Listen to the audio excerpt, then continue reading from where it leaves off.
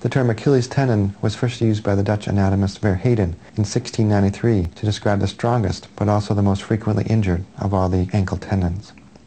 While MR imaging can provide an accurate diagnosis of Achilles tendon pathology, it has limitations, including cost and availability, and cannot image during motion of the ankle. Ultrasound, which is widely available and inexpensive compared to MRI, also shows very high accuracy for evaluating the Achilles tendon. Accuracy of ultrasound has been reported to be 92% for differentiating partial tears from complete tendon rupture. This video will demonstrate the examination technique of the Achilles tendon, the normal sonographic appearance, and examples of pathology, including tendinosis, tendon tears, and peritendinitis.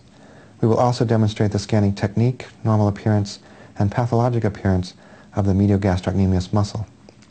The patient is positioned prone on the examination table and the ankle is placed at slight dorsiflexion, approximately 90 degrees to the tibia. This optimizes evaluation of the tendon and decreases the anisotropy artifact, which can occur when the tendon is not taut.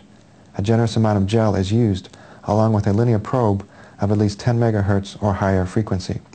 Scanning is initiated at the Achilles tendon attachment and moves proximally in the longitudinal plane, as shown here. The normal Achilles tendon appears linear, fibrillar, and echogenic, as demonstrated in this video clip.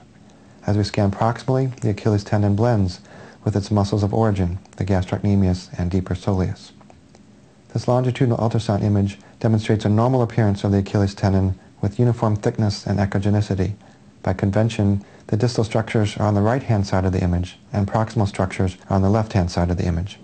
An arrow denotes the location of a potential bursa called the retrocalcaneal bursa, and an arrowhead shows the location of a second potential